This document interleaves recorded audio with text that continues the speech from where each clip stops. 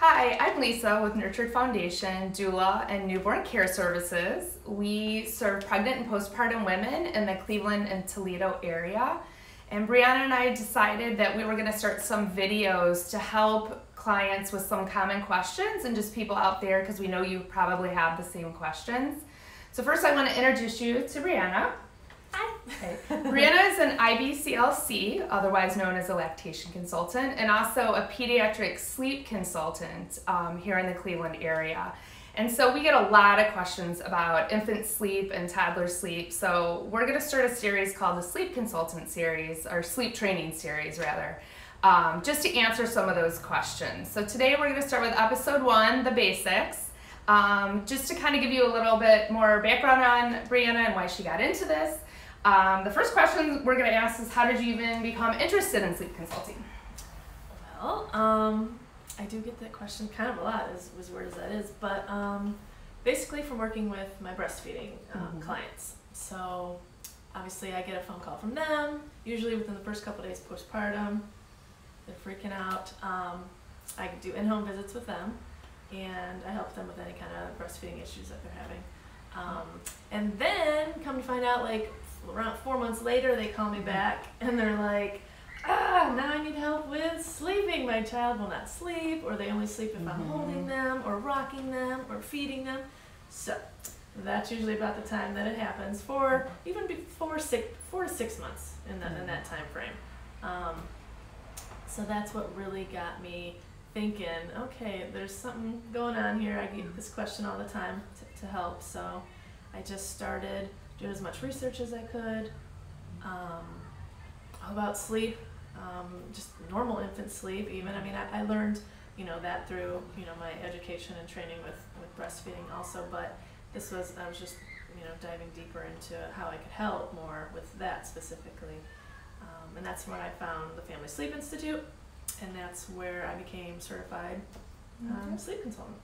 Right. That's how it happened. Okay, so for those of you that don't know, pairing a lactation consultant and a sleep consultant is not always a marriage made in heaven.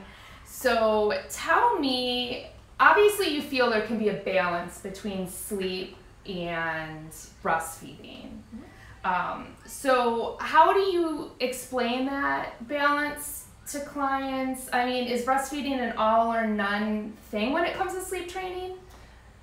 No, and I, I do literally say that all the time. It's it's not all or nothing. Um, you don't have to sacrifice your sleep or even your baby's sleep just in order to breastfeed.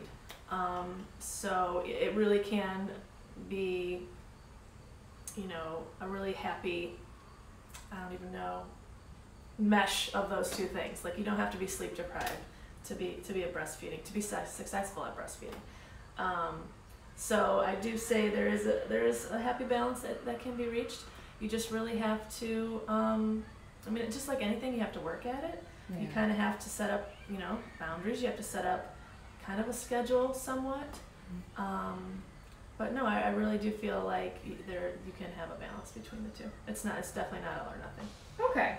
So, with that being said, if you have a breastfeeding mom that is exclusively breastfeeding and is really worried about she needs her sleep and she's ready to to get some full sleep but yet wants to make sure baby's getting enough. Is there like a, a certain age or developmental milestone that lets you know that um, it's safe to completely night wean? Okay, so I get this question a lot also mm-hmm. because um, they always want to know usually when can we get this night thing under control. Um, some moms are like, I literally wake up every hour with my child. I'm mm-hmm. feeding constantly every one two hours throughout the night, and it's just it's taking a toll on me. I have to work, you know, all these things. So we definitely want to work on that. Um, sleep is important for everyone uh, especially if you are a working mom and you have to go to work, you do you, you have to be able to function. So I understand. Um, I like to, or I always recommend um, having them talk to their pediatrician first, because we definitely want to get that okay. Um, I, I feel feel better about it, mm-hmm. and I just I want there to be, you know, no reason to not you know have that to happen. So. Um, talk to them about it. Make sure your baby is, you know, growing appropriately, gaining weight appropriately, you know, meeting the milestones that she, you know, they're supposed to be meeting. And then, um, you know, your pediatrician will usually give your blessing, give her, give them your blessing to start sleep training or anything else. So I like to get that blessing. Okay. Um, just it lets me know that everything's good and you know we can move forward. So I do recommend doing that. But then I also let you know the parents know, especially if they're exclusively breastfeeding. Um, I want them to know that I, I prefer to keep some feedings in at Mhm. night. We want to keep that milk supply up. We don't want to do anything to hinder that Right. you know, especially if you're going back to work and you're already having the stress of that, you don't want to add that in there and then have something, God forbid, happen to your to your milk supply. So we definitely want to keep that safe and. Um, but not only that, we want the baby to be happy as well Right. and thriving and still. So I like to keep in at least one to three feedings, depending how young the baby Mhm. is. Um, upwards of like nine months, even. I mean, Okay. you know, up until probably like nine months or anything like that. It might be just one feeding. But honestly, once you start, once they really start getting good sleep at night, they kind of themselves will just start to wean um, slowly that way. I mean, there's always, you know, a family that I work with that maybe wants to do it a little quicker, um, which I can do. I can work with that. Okay. Um, we just, I like to just pay attention and know how much the baby's getting kind of throughout the day. I like to make sure of that just so we can make sure the baby's still getting enough and also keeping up with her milk supply and, and keeping that safe. Okay, so it sounds like it's very parent driven. Mm-hmm. So if they want to completely cut out, then you can show them how to wean down to if it's safe once Correct. they get permission from the, the pediatrician. Or they can make it a more manageable number, like one to two times a night. Cause Right, and I think when when they hear that number, when they're like, okay, I can do one or two feedings, a night. I can do that, you know, or I can pump one or two times. You mm-hmm. know what I mean? Once they once you tell them that and they know that that's a plan moving forward, they can deal with that and they can plan accordingly. You know what I mean? When they're just like kind of no plan and they just like feel like they're up constantly doing all these things, it, it does get overwhelming. So I feel like having a plan really it really it helps them.